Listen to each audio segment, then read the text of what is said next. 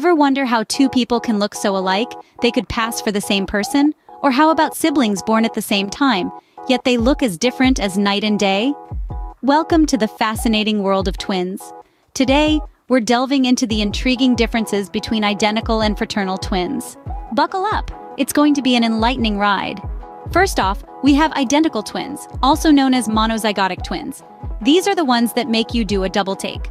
Born of a single fertilized egg that splits into two, identical twins share the exact genetic blueprint. That's right, they are 100% genetically similar. This means that they not only look eerily alike, but also share the same gender, blood type, eye color, and hair color. Now let's shift gears and talk about fraternal twins, also known as dizygotic twins. These twins are the result of two separate eggs fertilized by two different sperm. So, unlike identical twins, fraternal twins share about 50% of their genes, just like any other siblings. They can be of the same gender or different genders and can look very much alike or completely different. It's like a genetic lottery. You never know what you're going to get. Now, on to the body changes and growth of these twins. Carrying twins is quite the roller coaster ride for the human body. Think of your body as a house. Normally, it's equipped to accommodate one new resident at a time.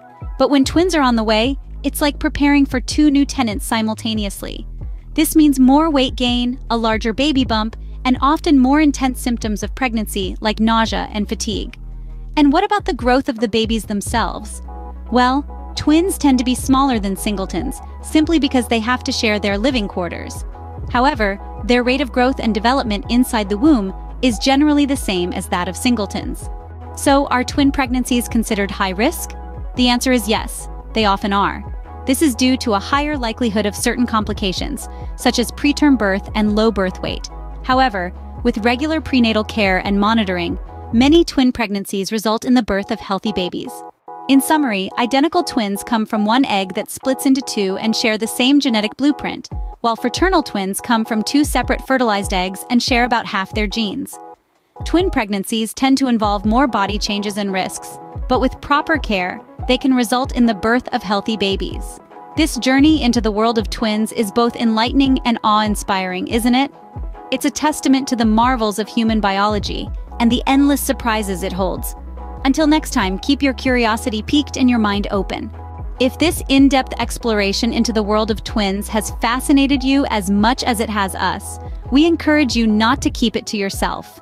Share this video with your friends, family, and anyone who would appreciate a dive into the remarkable world of human biology. Don't forget to hit the like button if you found the content enlightening. Your support helps us continue our quest to unravel the endless surprises that biology has in store.